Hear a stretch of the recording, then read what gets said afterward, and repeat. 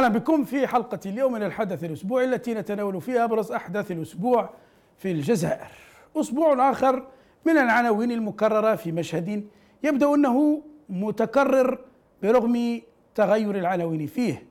أسطوانة العهدة الخامسة مرة أخرى وظهور فرقة حزبية، ظهور فرقة حزبية موالية تبرح بالعهدة الخامسة إلى جانب حزبي السلطة. إقالة مثيرة لقائدين بارزين في الجيش قائدي الناحيتين العسكرية الأولى والثانية. تصنيف الجزائر العاصمة مرة أخرى ضمن المدن غير القابلة للعيش ومرور عام على تنصيب يحيى وزيرا أولا والدينار يواصل تدهوره القياسي. فقد الدينار قرابة 50% من قيمته خلال السنوات الأخيرة. ويعود الفضل طبعا لأويحيى في تراجع القدرة الشرائية للمواطن والارتفاع الجنوني للأسعار والهزائم المتتالية لحكومته أمام البطاطا والخضر والفواكه وحتى حليب الأكياس. ويحيى الذي يطبق برنامج رئيس الجمهورية الاقتصادي بحذافيره مثل ما يردد وهو يدعي الوفاء له ولسياسته عمد إلى طبع النقود لسداد الديون على الخزينة العمومية.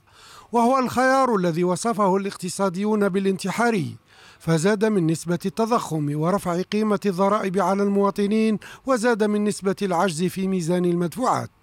ويحيى الذي أثبت فشله طيلة المرات التي تم فيها تعيينه في منصب رئيس الحكومة. ولكنه يعود دائما من باب خيارات منظومة الفساد المفصولة عن خيارات الشعب والتي تصبو للاستمرار في السلطة والامتيازات.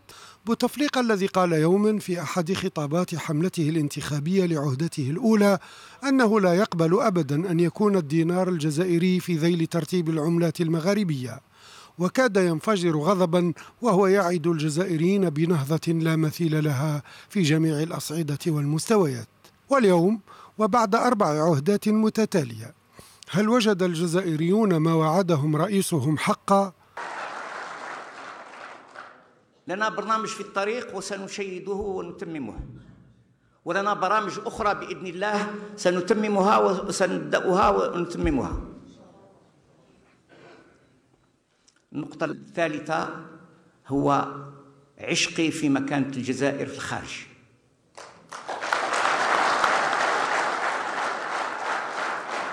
لا أحب الجزائري مدلول ولا أحب الجزائري مقهور. ولا أحبه يشتكي ولا أحبه يتصغر أمام أمام الذين يستحقون والذين لا يستحقون. وفي بلد يقود يحيى حكوماته منذ عشرين سنة يعيش خارج السياق العالمي وعلى هامش التكنولوجيا.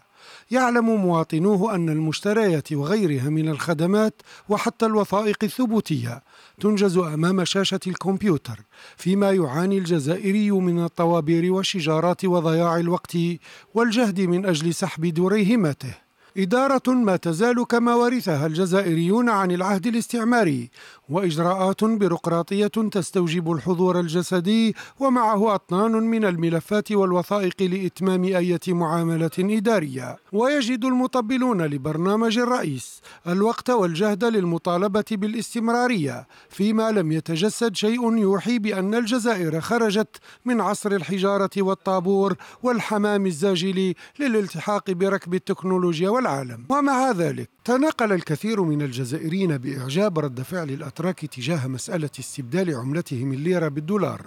وتساءل الكثير منهم لماذا لا يلتف الجزائريون حول عملتهم الدينار الذي تتراجع قيمته سنويا. ولم تكن الإجابة صعبة أو معقدة بالنسبة للمتتبعين فدعوة الأتراك كانت من قبل نظام شرعي منتخب واجهته أزمة ولاقى نداؤه استجابة سريعة من الأتراك فيما لا يجرؤ أي من ممثلي السلطة في الجزائر أن يلجأ للشعب ويوجه ذات النداء للجزائريين بخصوص الدينار. وليس أدل على ذلك من تجربة الاستثمار في سندات الخزينة العمومية. التي باءت بالفشل الذريع حتى مع مساهمة أحد رجال الأعمال الذي اقترض مبلغا ماليا ضخما من البنك وأراد استثماره في سندات الخزينة العمومية وهي عملية يصفها الجزائريون بالعبارة المعروفة من لحيت بخرلو. الجزائريون يعرفون حسب المختصين بأن ممتلكاتهم المالية لن تكون بين أيد آمنة إذا ما تم إيداعها في البنوك العمومية أو الخاصة. ولديهم تجارب مريرة في ذلك بدءا بحادثة الخليفة بنك وباقي المؤسسات الوهمية التي نهبتهم. ويفهمون أن أي دعم لهذه المؤسسات هو ائتمان اللصوص على أموال البيت.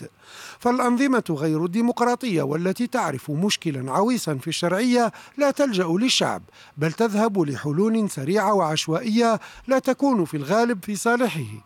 مثلما كان قرار الحكومة الرامي إلى طبع المال وتعويم الدينار ما يعني مزيدا من إثقال كاهل المواطنين بالضرائب والتضخم. فهل أصبح الحديث عن التغيير الذي يمنح الجزائر فرصة للالتحاق بركب الدول المتقدمة والديمقراطية نشازا وسط أصوات التخلف والاستمرار في العبث بمستقبل العباد والبلاد؟ تقرير عبد الحي عبد السميع لمناقشة للوقوف عند عناوين الأسبوع في الجزائر. معنا بداية من الجزائر سعد بوعقبة الكاتب الصحفي. أستاذ سعد بوعقبة ما رأيك؟ المرة لنبدأ بالعهدة الخامسة مرة أخرى عنوان مبرحون بالراحة جدد في إن صح التعبير يعني آه، فرقة جديدة آه، تبرح للعهدة الخامسة خمسة عشر حزبا يدعون الرئيس بوتفليقة للترشح لولاية الخامسة إلى جانب ولد عباس وغول ويحيى وغيره من الأصوات ما رأيك؟ هو بالحقيقة هذا هذه المسألة هي آه، عملية تاع دعاية مضادة للعهدة. الخامسة أكثر منها تأييد للعهدة الخامسة لأن لأن الناس هذو كلهم مكروهين من طرف الشعب. مجرد أنهم يقولوا الرئيس إحنا وراه يرتفع منسوب الكره الشعب الجزائري للعهدة الخامسة واللي يدعوا لها وفي نفس الوقت يكبوا في آه، يصبوا في التصرف تاعهم هذا في الجناح اللي موجود داخل العسكر اللي يقول انتهت العهده الخامسة لا يمكن أن أن أن, أن نواصل بهذه الطريقة. آه، هم في الحقيقة يؤيدون الرئيس آه، من أجل تسويد صورته وسمعته وليس تأييده لكي آه، يكون في عهده أخرى. لأن الرئيس لا يمكن أن أن يطمع في عهدة. ثالثة لثلاث اعتبارات، الاعتبار الأول أن النتيجة الحصيلة السنوية تاعو سواء في في في في, في العهدات الأربعة أو العهدة الرابعه الرابعة الأخيرة انتهت إلى صفر، يعني حقيقة لما نتكلموا على أزمة على جميع الاصعده ازمه سياسيه أزمة في المؤسسة العسكرية أزمة في الوضع الأمني أزمة خانقة في الاقتصاد علاقات آه، كارثية بالنسبة للمحيط الإقليمي والدولي. يعني الحصيله أساسية انها لا تسمح له بعهدة أخرى. وأيضا الطبقة السياسية اللي تشكلت ذات آه، طابع أنها تمثل السراق ولا يمكن أن يعول عليها في قيادة مرحلة آه، قادمة. هذا من حيث القضية الأولى اللي تمنع خامسه وهي أن البيرة كارثية. العنصر الثاني أن الدستور نفسه يمنع ثالثه فما بالك بعهده خامسه إذا الدستور أيضا يمنع آه، عهده خامسه القضية الثالثة أن وضع الصحي للرئيس لا يسمح له بأن يطمع في عهدة خامسه هذه آه، آه، ثلاث ثلاث عناصر أساسية. الرغبه عارمة في الجيش أنه لا يمكن تجديد الرئيس. ثانيا البيران تاعو استودع آه، في النتائج. ثالثا الوضع الوضع الصحي تاعو ورابعا هذا الحسيمات اللي اللي كره الشعب و آه، آه، ولات تدير أعمال في الشارع مسيئه للرئيس كمثلا كالاحتفال بصوره في في المهرجانات وهو دليل آخر على تسويد صورته وليس تحسينها. هذا من جهة بقي الأمر فيما يتعلق بالعهده الخا... بالمرحلة الجاية. كل الأمور متوقفة على توقف الجيش. الطبقة السياسية اللي اللي كانت واجهة للجيش تآكلت ولا يعول عليها. سواء بالرئيس ولا بغير الرئيس وأيضا الشعب الجزائري آه، انتهى إلى قناعة باللي آه، آه، لا يمكن أن يرضى على أي عمل من المؤسسة العسكرية إذا لم تتجه إلى إعادة الحق إلى أهله. أي إعادة القضية إلى الشعب الجزائري يختار طيب سنعود سنعود إلى هذا الموضوع. أستاذ سعد بوعقبه ورايك في يعني دلالاته. هل تربط بما إقالة قائدي الناحيتين العسكريتين الأولى والثانية بما كنت تقول. سنعود إليك أستاذ سعد بوعقبة نحن نشرك معنا في النقاش من من باريس الناشط السياسي الجزائري ناشط في الجالية الجزائرية كذلك صالح الجاب عبر خدمة سكايب. صالح الجاب ما رأيك؟ العهده الخامسة آه، وما تفضل به الاستاذ سعد بوعقبة انه هؤلاء بالعكس ربما دعاية مضادة ليس في صالح العهده الخامسة. هذه الأحزاب وهذه الأصوات التي ترتفع لمطالبة بوتفليقه بالترشح. لها نعم بداية تحية لك أستاذ جمال ولضيفك الكريم ولجميع المشاهدين. آه هذه الحزيبات كما سماها الأستاذ سعد بوعقبة أو هذه الأجهزة التي قامت الجماعة الحاكمة بخلقها لخل... لتعتيم الساحة السياسية. آه هناك يقولون هناك أكثر من 65 حزيب أو جهاز سياسي وهي في أغلبها لا تملك لا مقر ولا موقع ويب ولا نشاط ولا أي شيء فقط سواء تنادى من الفينة إلى الأخرى مثل ما نادوها في 1994 أو نادوها في في التحريفات الدستورية أو تقوم هي بمبادرات ولكنها بما أنها ليست سياسية ولا تملك هذا النضج فتقوم مرات كما قال الأستاذ سعد بوعقبة بأفعال هي تنوي أنها تفعل خير لنفسها وللسلطة الحاكمة ولكنها قد يكون الأمر عكس ذلك. لهذا هذه الأحزاب ليست حتى كلمة أحزاب يجب علينا ألا نسميها أحزاب هذه الأجهزة. لهذا آه، يعني الأمور. النقطه أخرى نحن نعلم جازمين. أنا أظن في النقطتين اللتان تكلم أستاذ أستاذ سعد بعقبة. أنا مع قضية الصحة وقضية الدستور. القضية الأخرى هي قضية البيلون قضية يعني ما أنجز السيد. حتى في 2014 لم يكن هناك بيلون ولكنهم مرر عهدة مرروا عهدة رابعة. لهذا أظن أن النقطة المهمة هي رضوان أو مصادقة القوى الأجنبية وعلى رأسها فرنسا. إن لم تعطي فرنسا لهذه الجماعة المصادقة ولا أظنها أنها ستعطيهم لعبة هذه اللعبة السامجة التي دامت ست سنوات فقد يتخلوا عن قضية العهدة الخامسة ويقوم بخلق عهدة خامسة يعني مقنعة أي أنهم سيستمرون كل الوجوه تبقى ولكنهم قد يقومون لنا بلعبة ويخرجون علينا أن هناك طرف ضد طرف ويخرجون علينا القيد صالح كبطل أو العمامرة يخرجونه من القبعة ثم يقومون هذه الجماعة نظفت المكان وهي التي ستحكم ويقومون بمهزلة انتخابية صورية ويمرون لعهدة أخرى من خمس سنوات. لهذا أظن أن يعني الأمور هي في, في هذه السياق. في المقابل يا حبذا يا حبذا يا حبذا أن تتفطن كل أحزاب المعارضة الحقيقية لا أتكلم عن الأجهزة أن تتحد بكل تياراتها أن لا تتوقف على أعداد معينة أن تأخذ أغلبية ساحقة من الفاعلين في الميدان ويجتمعوا لكي يقوموا بكتابة خارطة طريق يلتف نحوها الشعب. لأننا اليوم نرى كل بعض الأحزاب تتجمع وتقوم كل منها بمبادرة ثم تلوم الشعب تقول لما لا يخرج الشعب؟ الشعب ينتظر أن تكونوا أنتم في الصف أن تكون هذه الأحزاب متفقة ولديها بعد نظر. يبقى معنا صالح جاب مدني مدني الصحفي ينضم إلينا عبر الهاتف من الجزائر. من ورقله بالذات مدني المدني يعني ما دام تحدث صالح الجبع للشعب ما أصداء مرة أخرى هذا قصة العهدة الخامسه وهذه الأحزاب.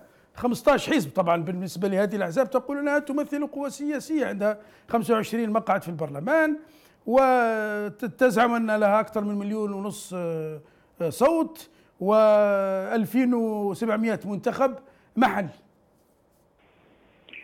طبعا بعد بسم الله الرحمن الرحيم. جرت في العادة الجزائرية على مدى سنوات طويلة أن تفتعل آه، بعض الحكايات والأزمات آه، بهدف أو بقصد التوجيه الإعلامي وتشغيل أو إشغال المواطن الجزائري بأمور تافهة وسطحية. ما ادعته هذه الأحزاب الخمسة عشر ورؤساؤها إن لم يكونوا جهلة فهم دجالون بالأساس لأننا آه، لأن الاعتبارات التي ذكرها الأستاذ سعد اعتبارات هي واقع وحقيقة تمنع حدوث عهدة خامسة. وبالتالي لا نرى استنتاجا لما يحدث غير ان أنهم يهدفون إلى آه، يهدفون إلى توجيه الرأي العام نحو وجود عهده عهده خامسة بينما ينشغل المصلحجية في هذه البلاد بتحضير آه، رئيس آخر وما إلى هناك.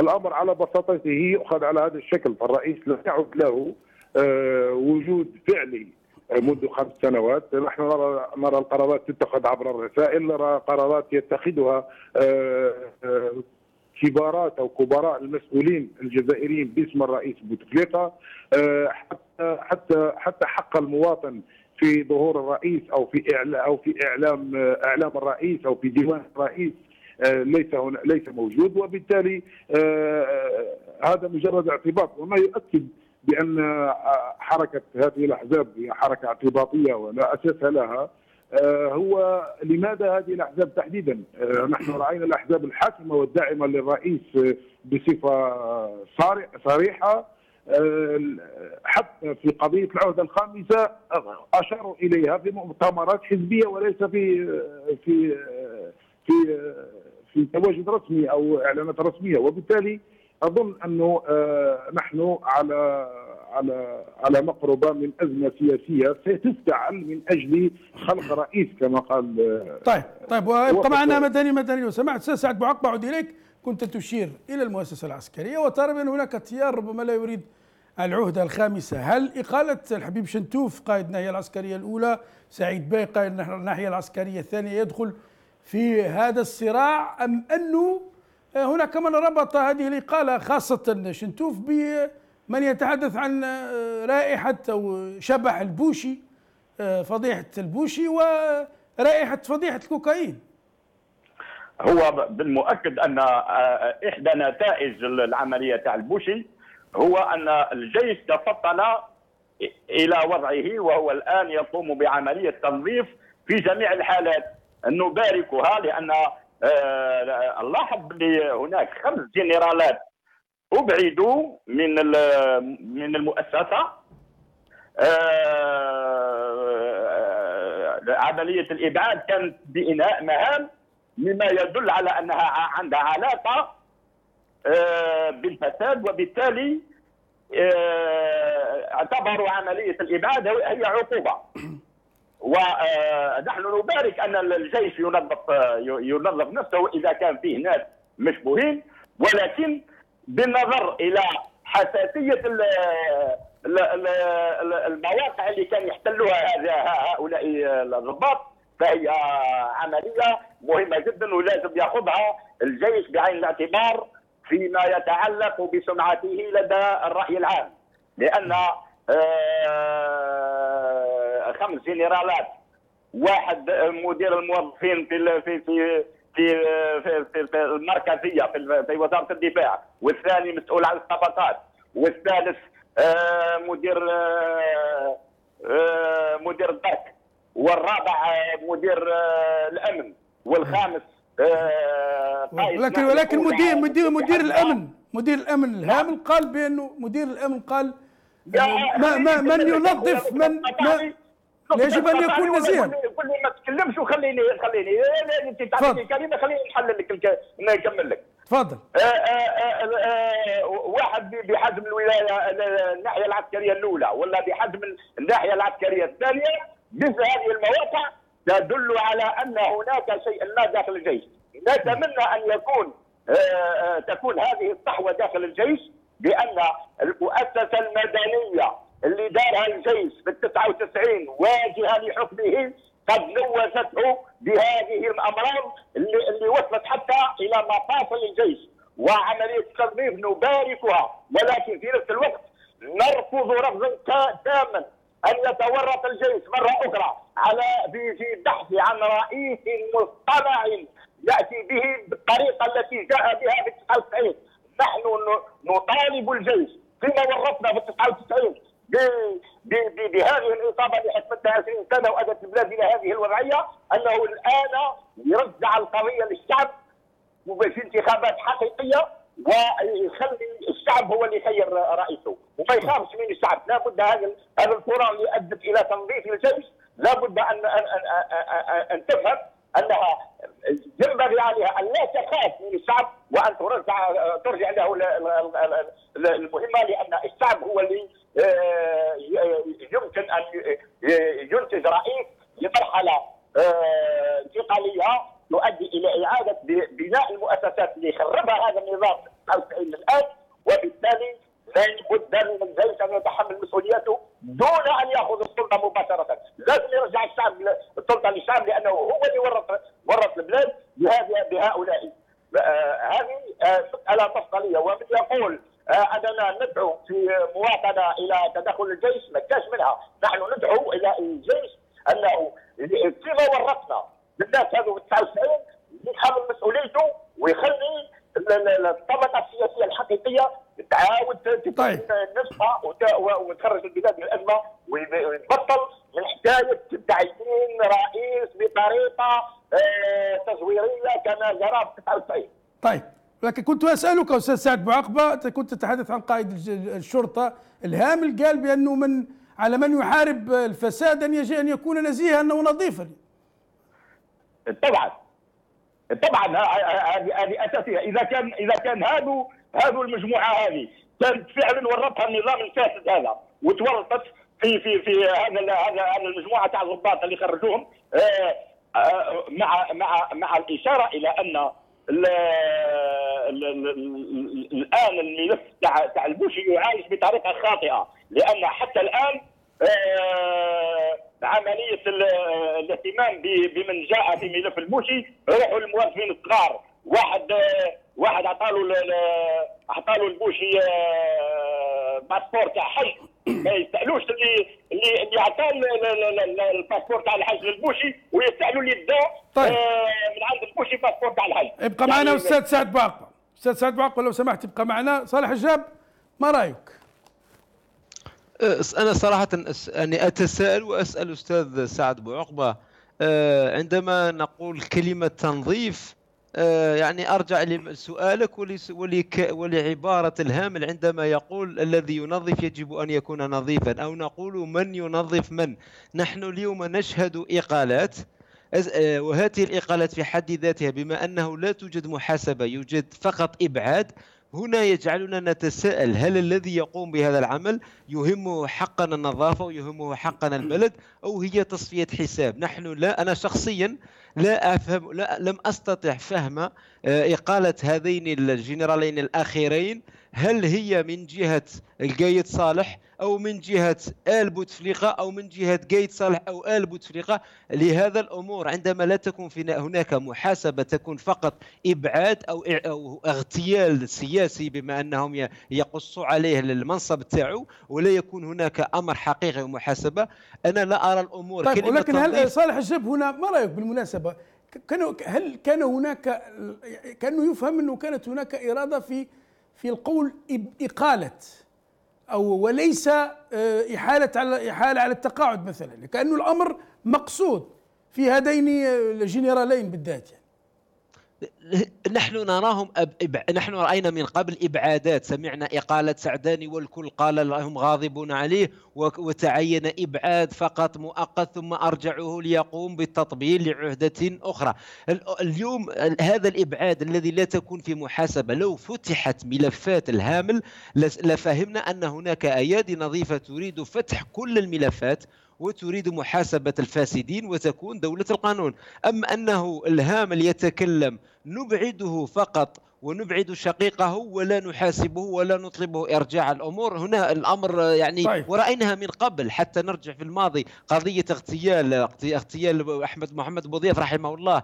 كل القضية مسحت في بومعرافي والسلام. لم نرى من أرسل بومعرافي ولم يحاسب. حتى بومعرافي لا نعلم إن كان في السجن أو هو اليوم يعيش في دولة أخرى. لهذا آه، الأمور الآن ليست واضحة. وكلمة تنظيف لا أنا شخصيا لا أستطيع استعمالها يعني أو طيب. يعني الموافقة عليها ابقى معنا صالح جاب مدني مدني ما رأيك؟ هل هي إقالات يعني في إطار تصفية حسابات أم في إطار تنظيف مرتبطة بالبوشي أم أنه فيها ابعاد سياسية يعني فيها صراع أجنحة صراع إرادات طبعا طبعا تثمينا لتدخل الأخ جلاب واعارض وأختلف مع الأستاذ سعد في جزئية التنظيف الجيش بهذه الطريقة إذا كانت الإقالات على خلفية على خلفية إشكالات وعلى خلفية قضايا مثل قضية البوشي فنحن الآن نتحدث على آه، تصرف شمولي وسلوكيات شمولية داخل مؤسسة الجيش، إن كان هناك فعلا آه، هذه إساءة أصلا للمؤسسات الدولة. إذا كان هذا الناس راهم يقالوا على خلفية قضايا فيجب أن يعرضوا على القضاء، أن يحاسبوا مثل ما قال الأخ جلاب، وإلا فإن الأمر لا يعدو أن يكون مجرد تصفية حسابات داخل داخل مؤسسه مؤسسه الدولة بصفة عامة، وبالتالي آه لما تغيب الشفافية في مثل هذه الأمور آه، تبقى أو تشغل هذه الأمور بالتأويلات وبال بال... وبال... اللهم إن كان الأستاذ سعد عنده معلومات تقريرية ومتاكد من انه هذا الأمر يمشي على هذه الشاكلة ولكن الدعوة إلى تنظيف لا يكون إلا عبر مؤسسة أخرى تكون مؤسسة مستقلة كمؤسسة القضاء. لكن الإشكال الحادث في الدولة الجزائرية أن مؤسسة القضاء تخضع إلى جهاز آه، تنفيذي يخضع هو بدوره رفقة مجموعة من السلط إلى سلطة يحكمها شخص واحد. وهذا الشخص واحد آه، عنده ثاني نائب واحد وهو مش يبان أنا نحكي على مشكلة تاع مؤسسة الدولة. وبالتالي إذا كان راح توجه دعوة فعلية للجيش في الجزائر الجيش الوطني الشعبي تكون إلى إصرارهم على حفظ أمن وسلامة البلاد وكفى. قبضونا بوش يقر وبوش يقر وبوش يقر وحسنا الحدود. والقضية يجب أن يحتضنها الشعب ونخبه الشعب. بالمناسبة الأستاذ عثمان أريد أن أنوه لأمر آخر قضية البوشي لو لو قارناها بما آه، ب ب ب لو وزناها دراهم عملة آه، لا تقارن بمجموع حجم مجموع وحجم الفساد الذي طال مؤسسات الدولة داخل داخل الجزائر عبر المستثمرين الوهميين وعبر امور بزاف. يعني استنزفوا الخزينه العمومية بطريقة آه لحقت هذا الوضع نتاج اقتصادي في الحقيقة ولا هو نتاج وضع طيب. اقتصادي في الجزائر. طيب يبقى معنا مدني المدني طارق مراح المحامي والناشط الحقوقي ينضم إلينا طارق مراح آه، ربما نشركك في آه، ويحيى مر عام على تعيينه وزيرا اولا ويحيى الذي ارتبط طبعا بسياسه طبع النقود والدينار يواصل تدهوره ويفقد 50% في أربع سنوات وتتزايد وتيرة انهياره ما رأيك؟ بكم ولكل ضيوفكم آه، ما يتصل بهذا الموضوع بالذات موضوع هذا الوزير الأول وبعد مرور آه، عام كامل على آه، هذه السياسة العرجاء التي انتهجها والتي تصب في خانة طبع النقود من أجل الحفاظ كما يقول بين ظفرين على المنظومة المالية أو المنظومة الاقتصادية والحفاظ على ما على يعني صلابة ومتانة الاقتصاد الجزائري. ها هو الدينار يبرهن مرة أخرى على أنه أضعف العملات بين كل العملات يعني آه، العربية والعالمية. والسبب السبب يعني المباشر هو انتهاج هذه آه، السياسة حسب ما آه، قال به خبراء ماليون واقتصاديون. كذلك ما يتجه ما يتجه إليه هذا هذا الوزير الأول. هو هو ما يصب في خانه الحلول السياسية. هو فقط من أجل آه يعني آه آه وعد وعد كل آه صوت معارض معارض خاصة من الأصوات المعارضة الأكاديمية التي قالت في أكثر من مرة بأنه آه، المال الجزائري بات لا يفي بغرض بغرض يعني يعني حتى القدرة الشرائية للمواطن الجزائري باتت ترتبط ارتباطا وثيقا ومتصلا مباشرة بقوة هذه العملة التي آه، يعني اضمحلت وتلاشت بين كل العملات العربية والعالمية ثم أنه الجزائر والتضخم الذي ستعرفه الجزائر في الأيام القليلة القادمة دائما حسب خبراء ماليين س آه، يعني يؤثر أو أي تأثير على القدرة الشرائيه التي تدهورت وبات الجزائري عاجزا حتى على شراء يعني كبش شهيد اللي هي شعيره من شعائر المسلمين. هذا هذه هذه هذه يعني هذا يعني يختزل كل شيء. وهنا ما هو ما هي المقارنة الممكنة بين ما حدث في تركيا وما يحدث في الجزائر؟ تركيا تركيا يعني العملة. آه، إلى كم نعم. آه، ال- ال- العملة التركية آه، مؤخرا يعني عرفت آه، يعني آه، خرجت يعني حتى يعني مبار يعني عملة مبارزة للدولار يعني. مثل مثل الدولار الأمريكي. هذا هذا ما فما أنه تركيا يعني قوة اقتصادية عملاقة ورشاد الحكم دائما هو آه، ال ال يعني سبب دائما قوة العملة وقوة الاقتصاد ومتانة المنظومة الاقتصادية التركية التي لجأت إلى حلول حلول يعني آه، الش- أول من ساهم في هذه الحلول وشارك فيها وفي صناعتها هو الشعب التركي لأن الشعب التركي هو من انتخب آه، هذه الحكومة الشرعية في في, في تركيا. وبالتالي فإن أي حلول نابعة من من من الحكومة التركيه أو من الرئيس التركي هي هي في اصلها هي حلول حلول الشعب التركي الذي يعني آه، التف حول حكومته وحول رئيسه وصنع حلولا آه، يعني آه، حلولا حاسمة للاقتصاد يعني العملة التركية. طيب. وبدت الليره الليره التركيه يعني عملة مشرفة طيب ابقى معنا طارق مراح لو سمحت. أستاذ سعد بعقبة اعود اليك ما تعليقك. ويحيى عام مر على.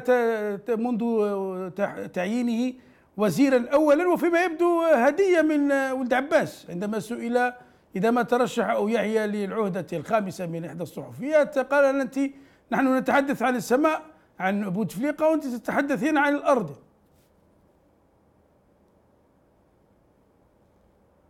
أستاذ سعد بوعقبه يبدو أننا فقدنا سعد أستاذ سعد بوعقبه أه، صالح الشاب ما رايك؟ ويحيى ومرور عام على توليه أه، الوزارة الأولى تعيينه وزيرا اول نعم عندما نريد تقييم ولو أننا لم نرى قط يعني منذ منذ يعني منذ استقلال الجزائر وفق اتفاقية ايفيان لم نرى تقديم لتقرير لعمل حكومة. ويحيى نفسه كان كان من قبل آه، رئيس حكومة ثلاث مرات وقام بتعديل وزاري أي أننا لو حسبنا عدد المرات التي عدل قد نقول أنه ترأس تسع أو عشر حكومات. ولكنه هو وغيره في ظل هذه السلطة هم مجموعة موظفين يقومون بالرقص. لا, لا, لا يفعلون شيء. هناك أمور تجري من وراء الستار. هم هنا فقط لتصريحات كاذبة أو يحيى أو غيره أو بوتفليقة أو حتى أو حتى أقول لك في الطريقة التي العبثية التي يسيرون بها الجزائر لو تحضر ملك النرويج لن يستطيع فعل شيء بالطريقة التي يعملون بها لأنه لا يوجد اقتصاد. هم هنا الزيت من الزيتونة والحوت من البحر. كانوا يأخذون أموال البترول يمضون الشيكات وكفى. لم يقوموا بخلق اقتصاد ولم ولم يرى الشعب أنهم يعملون لصالحه. لهذا عندما عندما طلب من الشعب وضع الأموال في البنوك لم يقوموا بذلك وعندما طلب أردوغان من الشعب ان أن يقوم بتغيير الليرة غيرها ولو نرجع فقط للوراء. عندما كان حزب الأفلان الحقيقي حزب الرجال حزب حزب الثوار كان فهم الشعب أنه يدافع عنه. عندما طلب بالجزائريين في الداخل إغلاق محلاتهم أغلقوا محلاتهم. عندما طلب الجالية الخروج وكسر حظر التجول في فرنسا يوم 17 أكتوبر ال- 1961 خرجوا وماتوا. لا لشيء إلا لأنهم فهموا أنه يمثلهم ويخاف على خ... على يبقى معنا صالح. الشاب لو سمحت. أستاذ سعد بوعقبه عاد إلينا ما رأيك؟ عام على آه، تولي ويحيى الوزارة الأولى. يا ولدي المسألة تاعو يحيى آه، هامشيه بالقياس في الموضوع اللي رانا نناقشوا فيه. أنا نقول لك في البداية آه، آه، أنا أسجل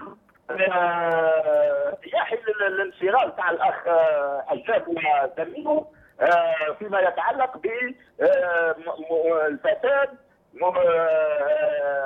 والذهاب للعداله للناس هذو اللي مذبوحهم في في الدفاع حقيقة الم- المسألة هو أن تحقيق القضاء الآن في موضوع البوشي راهو يتجه نحو آه، معالجته على طريقة آه، الخليفة. يعني يروح للحوت الصغير. أما الحوت الكبير ربما المؤسسة العسكرية آه، عندها مؤسسة ال- ال- ال- القضاء العسكري ربما تعالج الموضوع تاع الناس هذو في في إطارها. إذا كان هذا هو اللهم بارك. وإذا كان ماهوش هذا فأنا آه، مع ما قاله حجاب لأن فعلا القضية آه، تتطلب معالجه عسكريه وما غير البؤساء الضباط تاع الجيش اللي خرجوه من الموضوع تاع تاع تاع الكوشي هذا حتى من القضاة لكن لاحظنا وسائل الإعلام ما تتحدث على القضاة المتورطين ولا حتى الولاة ولا ولا حتى آه، ناس أخرين في في في, في اجهزه الدولة. الحساسه ما ياخذوش عليه. آه، بالنسبة للموضوع آه، ويحيى.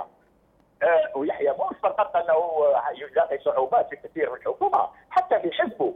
لأن الآن لما تشوف باللي الفضائح في حزب الأرمي تتلاعى تتوالى من فضيحه هذا اللي اللي في مستغانم تاع البلدية إلى فضيحه هذا تاع تاع آه، تفاصة إلى ال- رئيس الكتلة في مجلس الامه هنا يبين لك باللي ال- الفساد راح ينخر ال- الحزب تاعو يحيى نفسه وكيفاش وصلوا هذا الناس إلى هذه المواقع الحساسه آه، المسؤولية يتحملها يعني العام تاع الحزب هذا وال- والهياكل تاعو اللي ما كانش من لا يستطيع تسيير حزبه وتنظيفه فكيف يستطيع أن يسير حكومة وينظفها؟ هذا من جهه. الملاحظة الأخرى المهمة ورجاء ان تتركني نكمل هذا هو أن لاحظنا في المدة الأخيرة ارتفاع منسوب السرقة في آه، في مؤسسات الدولة وفي المسؤولين على جميع الاصعده وهذا مؤشر اخر على ان الناس هذو حسوا باللي نهايه المرحله وبالتالي بداوا ينطوا من السفينه وياخذوا معها ما سرقوا ورفعوا منسوب السرقه لانهم عارفين باللي المرحله الجايه لا يمكن ان آه، يعاودوا يرجعوا فيها وبالتالي آه، راح يستولوا على كل ما في يديهم ويديوا وارتفاع منسوب ال- ال- السرقه في المده الاخيره لا تفسير له الا ان احساسهم بانهم فقدوا ال- الامل في عهده أخرى وبالتالي مواصله آه، الاستمراريه في السرقه كما يقول شكرا جزيلا لك سعد بوعقبه الكاتب الصحفي. آه، مدني مدني ماذا عن عن تصنيف الجزائر العاصمة من بين أسوأ المدن من بين المدن غير القابله للعيش؟ وربما هذا ينسحب على المدن كثيرة على في أنت في ورقلة مثلا ورقلة التي تعتبر ربما المفروض على الورق أغنى مدينة في الجزائر. والله الاستاذ عثمان لو فقط دقيقة فقط. أتحدث على موضوع يحيى. تفضل. آه، الوزير الأول يحيى ولاعتبارات كثيرة سيدي إحنا عنده انجازات لازم نذكروها له دارها في السنة هذه. اللي هي في مجال تضييق الحقوق والحريات عبر الأجهزة الأمنية وحجم المحاكمات لاطاله الحقوقيين والناس اللي تعرفنا وأيضا التخرصات الكلامية اللي قالها وتعمد يستفز بها الشعور القومي لدى سكان الجنوب. ومشكلة الاقتصاد الجزائري والعملة السياسيه في عثمان هو الاستنزاف نتاع احتياطي الصرف. إحنا من بكري آه، السعر المرجعي 35 دولار في الوقت سنوات كان فوق ال 100 وشيء استنزفوا العملة آه، الصعبة اللي كانت احتياطي تاع الصرف. بمشاريع ياسر وهمية وب- وب- باستثمارات في أول ما في أول ما واجهت الحكومة الجزائرية أول أزمة اقتصادية اتجهت إلى ما يشبه المصالحة الاقتصادية مع الناس اللي عندها المال الفاسد.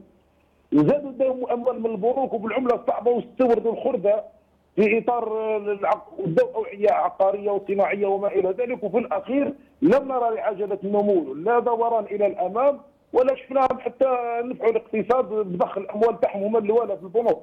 يعني آه، المشكلة الاقتصاد الجزائري يكاد يكون اقتصاد اعتباطي إلا فيما يخص الج- الجانب العمومي. باعوا المؤسسات العمومية بالدينار الرم- الرمزي لهذا العباد وعطاوا فرصة لكل فز في هذه البلاد باش يبيض أمواله في إطار مصالحة ضمنية مع الناس هذه. ولكن لما الأمر ما مشاش في شفافيه وما وما وما تعرضش إلى المساءله وما إلى ذلك هاك تشوف الت- التركة والتبعات نتاعو. أما فيما يخص آه، تصنيف العاصمة الجزائرية على أنها إحدى آخر العواصم من من ناحية بلد المدنية ولا الحضارية آه، لا يمكن الإنكار بأنه هذا الأمر يعتمد على معايير معينة غير موجودة في الجزائر من بينها البنى التحتية من بينها قطاع الخدمات من بينها آه، التزيين المحيط وجماله من بينها حركة المرور والمواصلات آه، من بينها بزاف أمور. تؤخذ بعين الاعتبار في هذا الجانب وإحنا هذه الجوانب يسيروا فيها آه، مؤسسات عمومية ومشاريع مركزية يشرف عليها ناس راهم متورطين مع البوشي. يعني راك تحكي على إحنا دائما ما دائما وابدا آه، نؤكد بأنه هذه الإشكالات وهذه المشاكل الكل لازم آه، لازم الناس تجتهد في إطار تغيير تغيير منظومة الحكم إلى إلى شاكلة تنتج خيارات مفيدة وقرارات أفيد آه، عبر آه، قرص استقلال القضاء باش نقدروا نحاسبوا نحاسبوا الناس اللي تغلط في حقنا عبر آه، تأسيس مجلس شعبي يشرع بكل حرية ويشرع صح وفق إرادة الشعب وطموحاته. إحنا رانا نعانيو من أزمة مؤسسات هذا كل حاصل تحصيل المشاكل هذه كل حاصل شكرا جزيلا لك مدني المدني صحفي وناشط الحقوقي شكرا جزيلا لك للاسف الوقت ادركنا نراك طارق من راحه المدني المدني كان يصير المشكلة أساسا. جوهر آه، ومفتاح هو الشرعية مثل ما كان يقول. نعم. وكل آه، وكل آه، مشكل نعيشه في الجزائر نرجعه إلى غياب الشرعيه في شرعية النظام نظام الحكم في الجزائر. يعني حتى بمفهوم بسيط جدا حتى في حي حي فقط في حي سكاني. إذا كان رئيس حي منتخب من طرف احياء يعني الساكنين بذلك الحي فإن أمور أمور الحي يعني تمشي وتمضي في نصابها وكل شيء آه، يعني كان يعني دائما نرجعه إلى الرأي العام، يعني دائما الرأي العام الرأي العام هو اللي يصنع القرار، الرأي العام هو اللي يصنع الحكام، الرأي العام هو اللي يصنع القانون، هو اللي يصنع التشريع، هو الذي يذهب ببلاده إلى آه، إلى آه، مصلحة مصلحة المصلحه العامة والصالح العام، لأنه إذا كان إذا كان رئيس هبط بالباراشوت هبط بالمنطاد على الجزائريين من جهة مجهولة فإن آه، أحوال البلد ستؤول دائما إلى من نصبه طيب ولكن أليس أليس مدهشا؟ بلد صرف ألف مليار دولار آه، منذ وصول الرئيس بوتفليقة. وعاصمته تصنف في التقارير الدولية كل سنة ضمن العواصم الغير قابلة للعيش يعني مع دول يعني لا أموال لها مثلا. نعم آه، مثلا إذا كان شفت مثلا المواطن الجزائري إذا كان خرج من البيت نتاعو باش يروح للعمل يخرج على 7 تاع الصباح باش يمشي فقط 5 كيلومتر يقعد يقعد مده ساعتين في, في, في, في الطريق. فإنه في هذا يعني تفهم هنا باللي راهي خلاص الحياة في العاصمة الجزائرية باتت يعني مستحيلة. مستحيل آه، يعني استحالة تامة. يعني ثم أنه 1000 مليار أو أكثر من 1000 مليار دولار اذا كان حسبنا هذا الرقم الفلكي. ووضعنا آه، وضعنا هذا هذا الرقم في آه، على يعني على طاولة على طاولة النقاش. سنجد بانه هذا الرقم كفيل بأن يجعل المدن الجزائرية كل المدن الجزائرية من أروع المدن في العالم. إلا أنه الغالب يعني الناس اللي كانت تسير واللي ما زالت تسير راهي راهي يعني ما عندها حتى علاقة بالتسيير وما عندها حتى علاقة وما كانش إرادة السياسيه بالتوجه إلى البلد إلى يعني إلى بر الأمان. الله غالب هذا هو يعني وش وش وش كاين في الجزائر؟ وعلى الجزائريين ان ان أن ينتبهوا جيدا إلى مستقبل بلدهم لأن البلد في هذه الآونة بالذات يتعرض إلى أخطار محدقة. بس يعني حتى ال حتى المطر يعني المطر تصب 10 دقائق مطر عندنا في ولايه تلسه مثلا أو ولايه كلمه أو ولايه قسنطينة 10 دقائق مطر يعني بان تبان صلايح عمرها بالعمر ما بانت يعني. حتى حتى أكرمكم الله مياه المجاري ما كانش في, في البلاد. نحن عندنا عندنا يعني مشاهد مؤسفة. إحنا نتسائلوا وين رحت وين رحت أموال الجزائريين وين رحت اموال أموال مقدرات الشعب الجزائري وين رحت وين رحت بترول وين رحت الغاز وين رحت الزنك والرصاص والجزائريون مثل ما كنت تشير؟ يشتكون من الغلاء في هذه الفترة العطل اللي هي عيد الأضحى ثم الدخول المدرسي على الأبواب وغلاء فاحش مع طبعا آه، وازدادت الأمور سوءا مع تدهور الدينار المتواصل. نعم يعني حتى حتى المستوى المعيشي تاع الجزائريين تراجع تراجع بشكل فظيع. ثم انه انهيار انهيار العملة وموضوع اليوم هو انهيار العمله العمله الوطنية، العملة الوطنية بانهيارها تشهد يعني القدرة الشرائية الجزائري تدهورا أكثر من مما هي عليه، وبالتالي يجب على الجميع أن يعرف جيدا بانه يعني أمور الجزائر ستؤول إلى الخير وإلى طريق النجاح والفلاح فقط إذا كان فيه نظام شرعي وحكومة شرعية منتخبة من من الجزائريين. شكرا جزيلا لك طارق براح المحامي والناشط الحقوقي صالح جاب أنت في باريس بالمناسبة بن حمو كان معنا قبل في المغاربية ضيفا كان يقول بالعكس أنه كان في باريس ووجدها أسوأ من العاصمة الجزائرية. الجزائر أفضل بينما التصنيفات الدولية طبعا آه، تصنيف الإيكونوميست آخرها مرة أخرى الجزائر بين الدول الجزائر العاصمة بين المدن غير القابلة للعيش. بن حمو هو يعني يعطي ترهاته كما كما يقوم بها جماعة الموالاة. أما هذا التصنيف الذي صنف العاصمة وما أدرك بالعاصمة صنفها في في أواخر المدن في العالم لو يذهبون ويروا ولايات أخرى داخلية ماذا سيقولون؟ هي القضية أن أن الجماعة التي تحكم الجزائر لا تعيش في هذه الجزائر لهذا لا تطورها. هم يعيشون من نادي الصنوبر ثم يأخذون الطائرة إلى أوروبا. نفس القضية نراها في المستشفيات. لو كانوا يعالجون في مستشفيات الجزائر لطوروها. بما أن لديهم صك أبيض في سويسرا وفي فرنسا فهم لا لم يكترثوا ولم يعطوا أموالا ولم يطوروا ولن يطوروا هذا المكان لأنهم لا يروا أنفسهم معنيين بهذا الأمر لهذا الأموال تصرف أو عندما يقومون بمشاريع. يعني همهم ليس بناء القيام بالمشروع همهم كم سيستطيعون النهب من هذا المشروع. لا يرون. وفي المقابل ويجب أن نحمل أنفسنا نحن والمعارضة الشعب معارضة المسؤولية. نحن أيضا نتكلم عن المسؤولين ثم لا ننظم أنفسنا لا نذهب للمحاسبة لا نقوم بالمتابعة. نحن نشتكي ثم ننام ونتركهم يفعلوا كل شيء. هذا همنا الكبير لأننا في الديمقراطيات القائمة على أرجلها. هنا في فرنسا ديمقراطية منذ 1700 هناك ناس نقابات جمعيات تعمل ليل ونهار تقوم باقتراحات الرؤساء بمتابعات باقتراحات رغم أن الأمر هنا سهل يعني بما أن هناك مؤسسات مستقلة هذه حقيقة ولكن هناك أناس لم يقولوا هناك مؤسسات تعمل فلننم. هم رغم وجود كل هذه المؤسسات الحقيقية القائمة الواقفة هم يعملون. لهذا نعم نحن أيضا لدينا مسؤولية كبيرة جدا. نترك الأمور تتعافى طيب ولكن ما رأيك في الذي ما دام أشرت المؤسسات الفرنسية الذي يطرح كذلك مسؤولية هذه فرنسا والدول الغربية التي تحاضر عن الديمقراطية عن الخير الشعبي تنتقد الدكتاتوريات بينما عندما يتعلق الأمر بتهريب 50 مليار دولار يورو بالاحرى مثل ما يكشف كتاب العلاقة الحميمه بين الجزائر وفرنسا بعلم المخابرات الفرنسية مثل ما يكشف الكاتبان الفرنسيين. بالعكس لا تتحرك فرنسا. وتسمح لسعداني بأن يشتري بأن يحول ملي مي مي كم؟ أكثر من مليون على الأقل مليوني يورو وأكثر ملايير بالجزائر إلى فرنسا غيره لشراء شقق يعني. مع انها تعرف بأنها أموال الجزائريين يعني.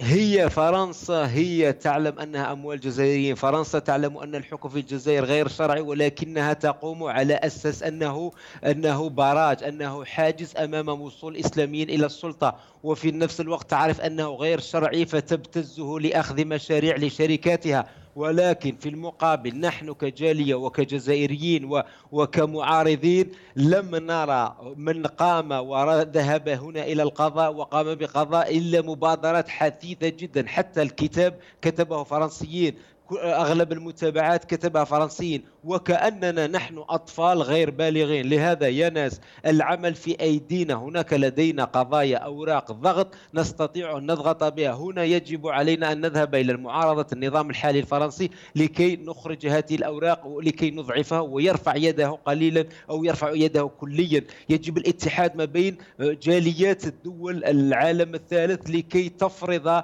أو ترفض بعض القوانين أو بعض المعاملات أو بعض العلاقة الرابحة الخاسرة ما بين أوروبا وإفريقيا. ولكن نحن بعيدون كل البعد عن العمل الاستراتيجي الممنهج. نحن فقط يعني واسفا نحن في التحليل وفي التنظير ثم نلوم الشعب لأن حتى من أغلبية الشعب صاروا أيضا ينظرون لأنهم لم يروا نخبة تقوم بالمبادرات الميدانية. وحتى وإن لم تنجح المبادرة الأولى الثانية والثالثة الثالثة والرابعة لأن هذه المبادرات تخلق لدينا يعني réseau تخلق لدينا networking يعني مجموعة نعرف بعضنا وتخلق لدينا ثقة وتعلمنا العمل مع بعضنا البعض. ونحن نفقد هذا هذه النقطة وهي نقطة مهمة شكرا جدا. شكرا جزيلا لك. صالح الجاب الناشط آه، سياسي ناشط في الجالية الجزائرية. كنت معنا عبر خدمة سكايب آه، من باريس. إلى هنا نأتي مشاهدينا الكرام إلى نهاية هذه الحلقة. شكرا على حسن المتابعة مني ومن كل فريق البرنامج أجمل التحايا. إلى اللقاء.